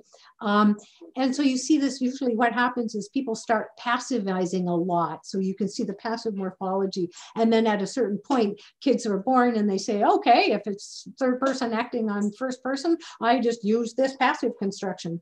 They don't think of it like that. But yeah. Yeah. That was a quick and dirty tour, Tom. Thank you. Thank you so much. Um, there's also uh, Maria Flaxman who asks, do they incorporate imitative onomatopoeic words? And thanks for the talk. Oh, thank you. Um, incorporate what kind of words? Imit oh, imitative sounds. Oh. oh, sorry for the pronunciation. So Im imitative onomatopoeic yeah. words. Oh, thanks. That's a really interesting thing. I haven't seen it. Um, but I, I mean, I've seen plenty of sound symbolism and that kind of stuff in these languages. I've never seen that, but that's because in the languages that I know of that I worked with, those things haven't become nouns, and you can only incorporate um, in the languages I know a formal noun. So it has to be a real formal noun. Um, that's a really interesting question. So there are, of course, languages like, especially in the Amazon, where, and some of you probably know about languages like this, where um, sound symbolism and imitative stuff has really entered the grammar to such a point that you really have things that are real nouns. Um, and it would be interesting to see whether if you happen to have that overlapping with incorporation, whether that can happen. That's a really interesting question. So maybe somebody can figure that out. Oh, yeah. And she thanks you for the talk. And also Alex says, Alex Francois, Marianne's style makes us feel like we're right there in the field with her among weasels and alligators, experiencing the magic of polysynthesis noun incorporation in their full expressive power. I couldn't agree more. Merci Alex, merci Amina. and uh, the most important question by Tom Durand says, he says, which First Nation makes the best meat pies? yeah. It depends where you are. Thank you. nice question. Diplomatic answer. Yeah, and he also says active, stative, and agentive, patientive better. So I suppose this is, uh, you answered that already. Uh, Fanny says, thank you very much, Marianne, for sharing your knowledge with such humor. Any references about humor in wordplay in North American languages? And thanks to all who organized this talk. So maybe I don't know if you have references right now, or otherwise we can give them later. But that yeah, was, I'll, I'll, I'll put that up. Put yeah, that yeah, up. yeah. That was also like a smiley kind of thing. Uh-huh. Steve Hewitt, the little I have looked at Lakota, the system looks incredibly like Georgian agentive patientive. Yeah, it's um, it's not as complex because you don't have all of this jumping around with aspect. So it stays it stays put. Um, what's nice about the Siouan stuff is that um, you have separate slots in the morphology for agents and patients. So it's not one of these systems where you can only have one patient or only have one agent. So um, you do get, yeah. So I would say it's like Georgian, but it, it's not as tricky. um, but what's very interesting, I think, is again, this stuff is lexicalized. So it doesn't, it means that it, for all the languages I know that do this, speakers aren't deciding moment by moment how agentive somebody is. They just happen to know that um, this verb requires this kind of a thing. So an example, um, which I think is very interesting, is that the verb to work in Iroquoian languages requires a patient pronoun. So if I say I'm working or he works, you use a grammatical patient. You see, that's really, really weird. If anything was going to be agentive, you would think it would be working. But what's very interesting, if you look all over North America, words for work have interesting histories. So all through California, they're very obvious loans from Spanish. And of course, in the Northeast, the Iroquoians weren't borrowing words. But I think this is just my idea. We can't ever know for sure. I think the idea of separating work and leisure was not an original idea. You, you lived, you did what you did. And work only came in when Europeans came in and hired people. And so this meant you were working for somebody, you were busy. And so the, the Iroquois verb comes from something like being busy or being employed to be busy by by somebody. Um, and what's interesting is that speakers, you know, they do it right. I mean, they say, you know, I'm working and they use the patient. None of them ever said, wait a minute. However, I was talking to this little three-year-old girl. She was a first language Mohawk speaker. It was a real thrill. She only knew Mohawk, and we were we were coloring and we were playing. And I said, "So what are you doing?" And she says, "I'm working." And she used an agent prefix, which I thought was really stunning. Anyway, yeah. Beautiful. And um, um, so we, we have questions coming and coming. Are there noteworthy cases of variable affix ordering in North American languages? Uh, yeah, certainly. Um, so I, I've the um, Eskimo Aleut for sure. Um, certainly not, certainly not Navajo, not Dene. Um, I mean, sometimes, you know, they'll have different ordering in sister languages because um, they, the affixes were sort of rare and they got solidified in different places. Um, so there are some, um, I'm not jumping, you know, Muskogean, they're pretty well situated. Um, yeah, yeah, Siouan is, is pretty solid. Yeah. mm -hmm. Thank you. And Steve Hewitt says that's right. In Georgian, verbs are stuck in their agentive patientive class, but do not always conform semantically to that today. Yeah, yeah. So uh, I think there aren't any more questions for you.